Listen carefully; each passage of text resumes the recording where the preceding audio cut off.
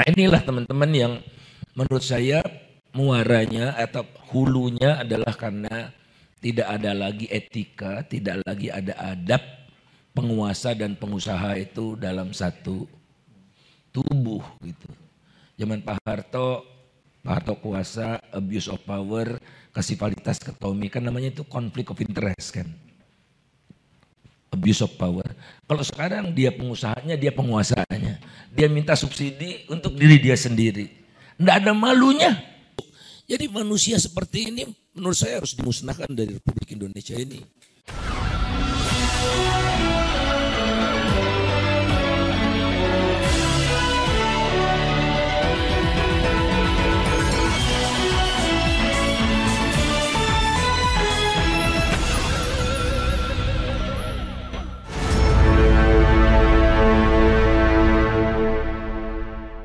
Bismillahirrahmanirrahim. Assalamualaikum warahmatullahi wabarakatuh.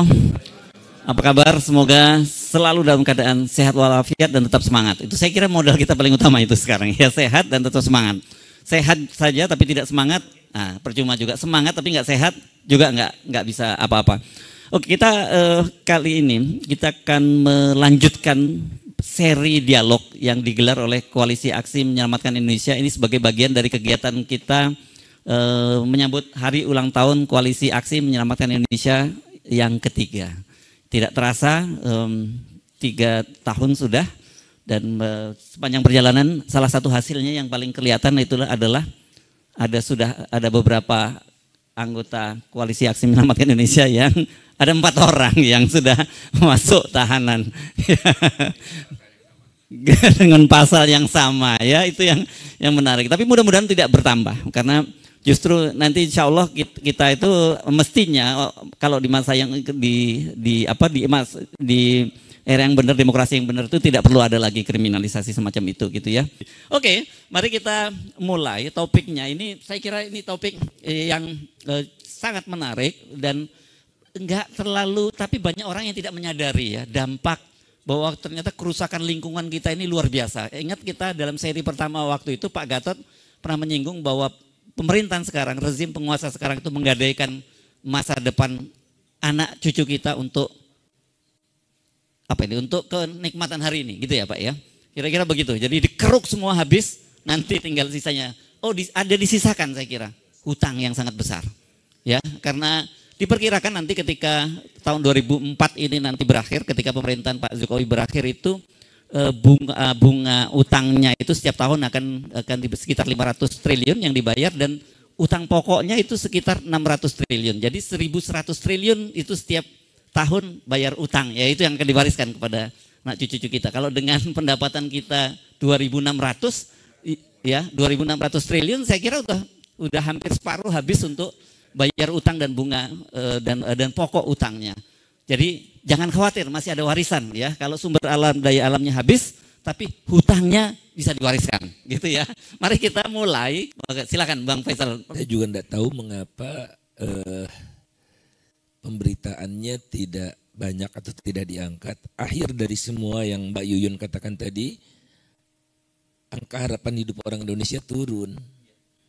67 tahun sekarang, kita udah pernah mencapai 70. Ya, turun 67, berapa itu lebih rendah dari Timur Leste. Teman-teman masih ingat dulu waktu Timur Leste itu dia tergolong paling miskin tuh. NTT, NTB, Timur Timur waktu itu. Nah itu paling miskin, sekarang dia bisa uh, catch up kita gitu. Jadi kalau mau panjang umur, pindah Timur Leste gitu. Uh, satu itu kalau kita dengar Mbak Yuyun kita udah nggak bisa bercakap-cakap lagi gitu ya. Gimana gitu ya. Nah, eh, dan kalau ingin saya tambahkan, China komitmennya terhadap emisi itu kencang banget karena dia udah rasakan betapa ongkosnya mahal. Jadi mereka tidak lagi membolehkan membangkit listrik batu bara. Oleh karena itulah smelter-smelter itu peningkatan produksinya tidak terjadi di China lagi karena tidak boleh sama pemerintah China harus pakai uh, yang lain gitu.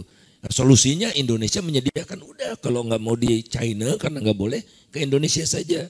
Jadi limpahan apa ya kegiatan-kegiatan kotor tuh masuk ke Indonesia. Uh, China-nya bersih gitu. Yang sebetulnya itu melanggar prinsip dasar uh, COPS juga ya. Karena ini kan tidak boleh saya bersih tapi lainnya uh, uh, uh, kotornya dipindahkan pindahkan ke yang lain. Nah persoalannya adalah di Indonesia ini hampir seluruh sumber daya alam dikuasai oleh segelintir kekuatan. Jadi pembangkit listrik yang sudah ada itu, itu kontraknya ke PLN 30 tahun. Untungnya 30 tahun udah dijamin, ngapain saya repot-repot lagi. Dan mereka ada di dalam kekuasaan yang saya ingat saja nih ya, uh, di dalam kekuasaan itu uh, uh, Luhut Panjaitan, Muldoko, Erick Thohir, Sandiaga Uno, Erlangga Hartarto, Hatta Rajasa, kamu ada gitu. Jadi ada di legislatif, ada di eksekutif, ada di mana-mana di pemerintah daerah segala macam. Saya kebetulan kebetulan sedang menulis kata pengantar untuk uh, uh, uh, uh, buku tentang ini dibikin skema-skemanya itu hampir semua ada. Hampir semua partai ada, non partai juga ada ya. Contohnya ISAM itu ya. Uh, dan semua itu ada di jajaran yang memungkinkan mereka bisa mempertahankan kepentingan dirinya at the cost of kepentingan uh, uh, uh, masyarakat banyak.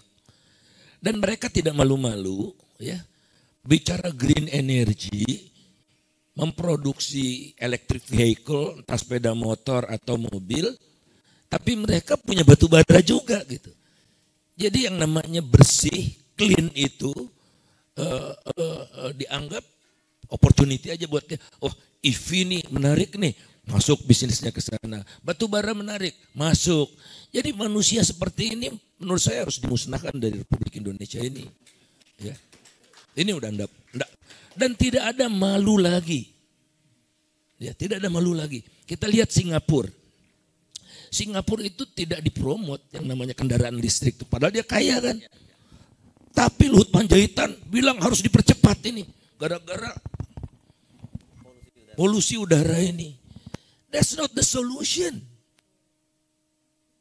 Ya, negara kaya itu aja sadar yang harus mereka lakukan itu infrastrukturnya dulu dibenahin. Jadi listriknya di Singapura nggak ada dari batu bara, mereka pindah ke gas, nggak langsung ke apa solar sedang disiapkan ya, tapi ke gas. Ini apa-apa belum punya langsung EV gitu ya. PLN-nya 90% pakai batu bara. That's not the way untuk membersihkan dunia. Akar masalahnya infrastrukturnya dulu dibuat. Ya itu akan jauh mempercepat. Lebih mudah lagi sebetulnya. Pembangkit listrik tenaga batu bara yang belum dibangun, ya batalkan. Mumpung belum dibangun. Batalkan. Ada Tanjung Jati A, Tanjung Jati B ya di Cirebon. Ada Java 9, Java 10 di Banten. Itu Prayogo Pangestu itu. Uh, Java Tanjung Jati saya mungkin Bakri ya, saya, tapi saya lupa lah. Dan kita berjuang gitu. Sendiri yang berjuang kayak gini nih makin sepi. Alhamdulillah eh, dibatalkan oleh PT UN. Batalkan oleh PT UN, mereka banding ya. Terus hakimnya bilang begini ke saya, kayak dialog gitu ya dengan hakimnya. Jangan gembira dulu walaupun kasus ini menang, dia bilang. Karena udah inkrah pun pemerintahnya masa bodoh gitu loh. Terus buat bayangkan Bapak hakimnya ya mengatakan seperti itu. Jadi ya berjuang harus terus menurut saya karena terlalu dalam kepentingan kelompok apa uh, vested interest ini terlalu terlalu besar lah gitu. Jadi semua opportunity bagi dia, ya opportunity banget gitu. Uh, dan tidak ada rasa malu lagi itu tadi, ada rasa malu. Nah, karena nanti dihitung net zero emissionnya itu enggak, enggak nol electric vehicle kita. Nah, tadi Mbak Yuyun katakan kan tadi bahwa uh, kendaraan listrik di Indonesia itu tidak pakai nikel, fosfat, ion fosfat apa gitu, 73 persen. Jadi dikasih keringanan pajak segala macam itu kan ujungnya kan baterai. Eh, baterainya nggak ada yang dibangun. Nah bat, uh, batuan itu, batuan uh, yang di atasnya itu, yang tadi Mbak Yuyun katakan, yang di atasnya yang gampang dikeruk itu kadarnya rendah. Nah itu tidak dikeruk tuh selama ini. Jadi ambil yang di bawahnya, itulah yang untuk uh, paling besar, itu untuk stainless steel dan kawan-kawan itu. Nah, nah sekarang pakai teknologi hidro itu, yang yang di atas itu di, dimanfaatkan untuk uh, baterai itu. Itu yang menimbulkan kerusakan di Halmahera ya, Pulau Obi, eh, Halmahera yang indah, tidak jauh dari Banda, tempat Bung Hatta dulu di, eh Bung Hatta, Bung Karno ya, eh Bung Hatta, Bung Hatta di uh, uh, asingkan di sana, tak terperikan lah uh, uh, uh, uh, uh, kerusakan lingkungannya. Nah kemudian teman-teman sekalian, batu bara ini prinsipnya ya ada tiga sebetulnya pengelolaan sumber daya alam ini. Pertama, untuk yang tak terbarukan, ya, Mbak Yowin katakan udah tadi juga, untuk yang tidak terbarukan itu semakin banyak kita keruk sekarang, semakin sedikit yang tersisa buat generasi yang akan datang. Jadi kita sebetulnya merampok uh, hak generasi yang akan datang. Kedua adalah untuk yang non yang non renewable yang uh, apa namanya yang kotor yang namanya dirty energy versus clean energy itu itu harus dipajaki lebih banyak gitu harus dipajaki lebih banyak dan dananya untuk membiayai clean energy kalau sekarang pemerintah Indonesia itu ngemis eh internasional tolong dong bantu saya Kan sama internasionalnya diketawain. Eh, kamu punya banyak dirty energy. Sebagai gambaran saja Bapak Ibu sekalian betapa menggiurnya uh, uh, pertambangan batu bara ini. Batu bara itu dan keluarganya ada lignit segala macam itu.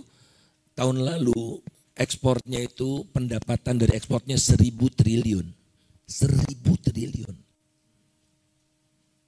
Makanya mereka tuh punya duit semua nih capres-capres ini. Orang di belakangnya batu bara semua. Seribu triliun. Kenaikan harganya 5,6 kali lipat.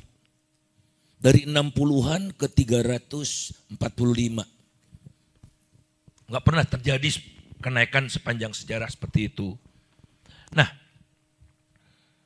saya udah katakan ke Pak Luhut juga ya beberapa menteri gitu di rumahnya bilang, Pak, dirty energy itu harus membiayai clean energy.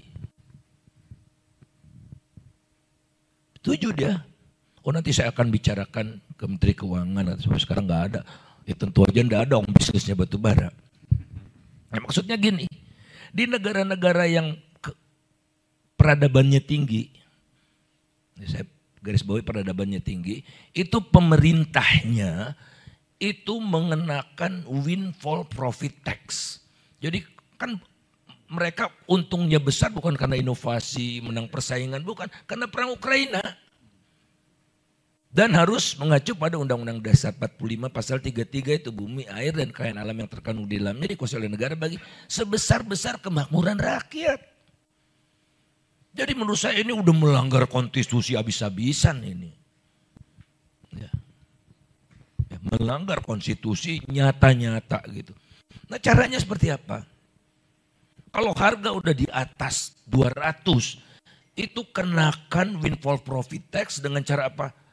Pajak ekspor 50%. Jadi Indonesia harusnya kemarin dapat 500 triliun. APBN cuma 3 ribu loh. 500 triliun. Dari seribu itu. Apakah mereka rugi? Tidak. Yang kita. Jadi keuntungan normalnya sudah mereka ambil. ya nggak kita utak atik keuntungan normalnya itu. Nah sekarang ada keuntungan durian runtuh. Nah keuntungan durian runtuhnya diambil 25 persen atau 50 persen lah kalau udah di atas ini. Jadi mereka bukannya mereka merugi tapi ini diamanahi pemerintah itu menjamin agar kekayaan alam itu bagi sebesar sebesar kemakmuran rakyat gitu. Inilah yang uh, uh, uh, tidak kunjung uh, ada appetite, Menteri Keuangan juga nggak uh, ngomong baru rencana gitu, rencana. Ironisnya Bapak Ibu sekalian, pengusaha batu bara itu kan sedikit. Ya, jadi 11 perusahaan itu menguasai kira-kira 70% produksi nasional itu. Ironisnya rakyat kita yang ada ratusan ribu mungkin jutaan ya Mas ya, uh, di sawit. Setiap CPO yang diekspor termasuk oleh petani itu dipajaki oleh pemerintah. 25, 30 persen progresif. Jadi windfall profit tax ini sudah dilaksanakan tapi untuk yang orang ya ada yang besar juga, mereka-mereka juga gitu. Ya, orang-orang untuk yang korporasi besar tapi ada di sana sepertiganya adalah dihasilkan oleh petani. Jadi itu dipajakin. Dipajakin ekspornya ditambah ada lagi pajak baru atau biaya baru namanya biaya sawit. Jadi ada biaya sawit, ada eh, pajak ekspor. Nah biaya sawit ini dikelola bukan oleh APBN tapi oleh BPDPKS 74 persen ya. 74 persen lari ke korporasi ke petani cuma 4 persen. Karena yang ngatur dia. Ada steering komitenya atau apa namanya Martua Sitorus. Jadi lo lagi, lo lagi juga gitu. Dia dapat subsidi biofuel. Nah biofuel kan so called clean lah gitu. Tapi ya jadi bisnis gitu. Nah inilah teman-teman yang menurut saya muaranya atau hulunya adalah karena tidak ada lagi etika, tidak lagi ada adab penguasa dan pengusaha itu dalam satu tubuh gitu. Zaman Pak Harto, Harto kuasa, abuse of power, kasih fasilitas ke Tommy, kan namanya itu konflik of interest kan. Abuse of power. Kalau sekarang dia pengusahanya, dia penguasanya. Dia minta subsidi untuk diri dia sendiri. Tidak ada malunya. Tidak ada undang-undangnya. Padahal sih sebetulnya bisa, nggak tahu saya pakai sumpah jabatan itu tidak tidak boleh memperkaya diri sendiri dan orang lain. Ini memang kebanyakan ketamakan ya sebenarnya intinya ya bang. Kalau tadi menyanggung ini pola pikir itu saya kira ketamakan dan menurut saya ini kita mesti mulai mengubah cara berpikir kita juga sebagai bangsa. Jadi banyak hal yang mesti kita lakukan. Silakan bang.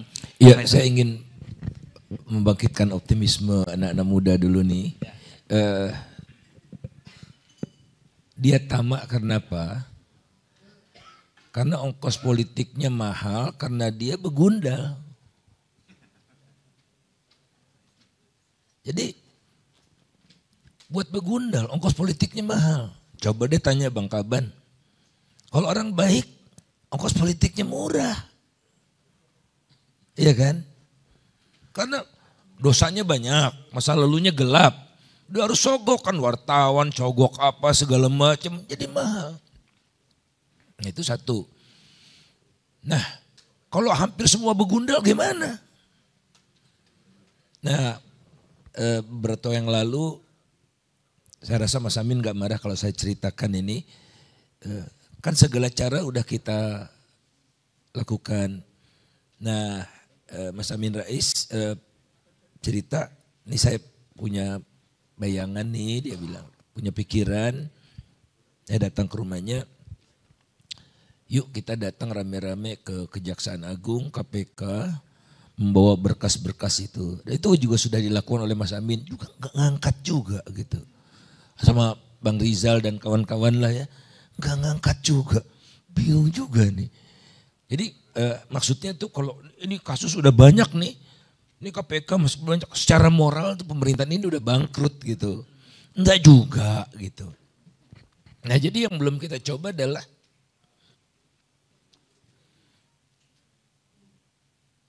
Tapi ini jangka panjang nih buat adik-adik yang muda ini. Eh, eh, eh, eh, berikan turun pas harus sama buruh. Jadi Oktober ini buruh mau turun satu juta orang insya Allah. Ya, amunisinya udah kita apa amunisi maksudnya kontennya kontennya ya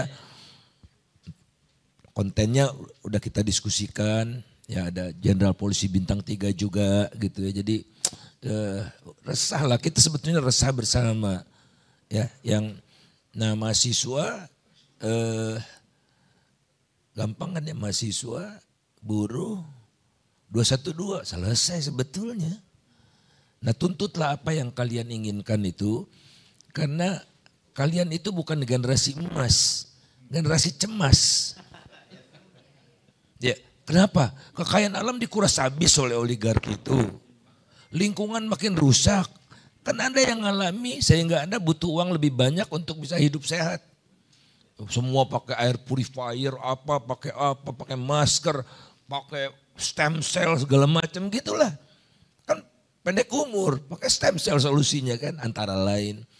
Nah kemudian utang kian menumpuk. Bukan kami ini yang bayar nih, generasi kami yang melakukan, kalian yang bayar. Jadi tadi Pak Jenderal lihat oh, oh, generasi milenial dan Gen Z ini itu jumlahnya sekitar 2 per 3 gitu. Jadi mereka tidak takut sama kami adik-adik sekalian. Karena kami itu vote-nya cuma 1, 2, 3, 4. Ah, sampai urat putus. Ngomong terus kalian Gua cuek kata mereka. Tapi mereka takut sama kalian, kalian karena kalian kekuatan dua per tiga. Nah, saya gak punya solusi bagaimana untuk membangkitkan kesadaran kolektif kalian dan menuntut kepada siapa pun capresnya untuk melaksanakan agenda mereka. Anda kawal habis-habisan dengan kita juga gitu. Maaf kalau saya agak ngelantur, Politisi itu ada kelemahannya kok. Orang yang kuat ada kelemahannya. Anda masih pernah ingat ada yang BTS gak di sini? Coba tunjuk tangan. BTS. Oh nggak ada yang BTS. BTS itu bisa ngalahkan Donald Trump. Bisa dengan cara BTS itu. BTS Army ya. Adorable, representative, MC for youth. Dia lagunya nggak sekedar patah hati, jatuh cinta, ditinggal pacar kayak gitu. Dua minggu lalu saya ikut jazz, festival jazz di Senggigi yang antara lain penyanyi itu Kahitna dan Meli Guslow. Semua anak-anak muda itu hafal lagunya demi lagu, lebih lagu tapi lagu-lagunya itu patah hati, ditinggal pacar gitu-gitu loh. Aduh, gila. Nah itu dia. Lihat dream, dream Anda yang Anda perjuangkan itu. Nah kita bisa bantu dari segi kontennya ya, dari segi macam-macamnya itu. Coba nih, ini saya cerita gitu. Kalau di Amerika kan kampanye itu yang datang dikasih duit. Eh di Indonesia. Kalau di Amerika mau datang bayar. Karcis. Nah Waktu Donald Trump kampanye itu karcisnya diborong sama si BTS hingga sepi itu. Mampus itu si Donald Trump itu. Ya nggak ada ya. Nah kayak gitu saudara. Kalian kekuatan terselubung. Tapi bagaimana mengkonsolidasikan anak-anak muda ini gitu. Mahasiswa ini. Jangan egois. Ada ketua BEM salah satu universitas besar datang ke saya. Saya pikir nih siap bergerak gitu. Enggak mempertanyakan ongkos kuliah yang naik. Aduh, saya bilang belum selesai dengan dirinya sendiri gitu. Sedih juga gitu. Nah, terakhir yang ingin saya share supaya optimis, Anda tidak perlu uang banyak seperti yang di bandari batubara-batubara bara itu. Ya. Ningkatkan social capital Anda. Paling fenomena, politisi paling ditakuti anak muda oleh politisi, politisi gaya di Amerika tuh namanya Alexandria Ocasio Campos. Dia bartender sebelumnya. Bartender. Anda bisa lihat jersey dia atau bukan jersey apa apa namanya apa apa apa